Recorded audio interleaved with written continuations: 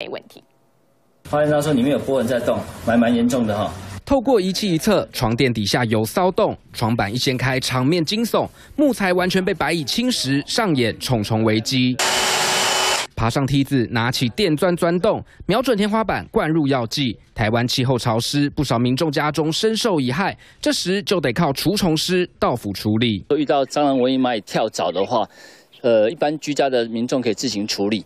那可是遇到白蚁的部分，老实讲，我们比较不建议居家办公除虫到社区病媒防治都是服务范围，但除虫师恐怕不是多数人心中的梦幻职业。毕竟每次任务，哪怕是搬开插座、掀开衣服堆，又或者是推开天花板，映入眼帘的恐怕都是惊悚大场面。老鼠有时候它挂掉的时候会死在很奇怪的地方，那有时候不能拿夹子，有时候不同的环境，所以我们可能需要去徒手把它取出来，是比较麻烦的一件事情。呃，会考技术人员的证照，那是政府核可的。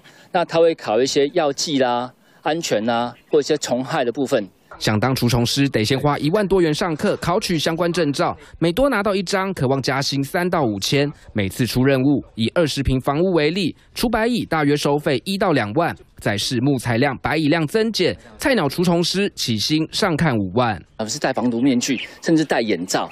那个，而且是在大热天里面做消毒，那个是非常，呃，累人的一件事情。资深老鸟拼一点，有机会月入十万，但毕竟每天与虫搏斗，不是每个人都能接受。辛苦钱不怕你赚，只怕没人敢赚。三立新闻戴伟成、陈玉璇台北报道。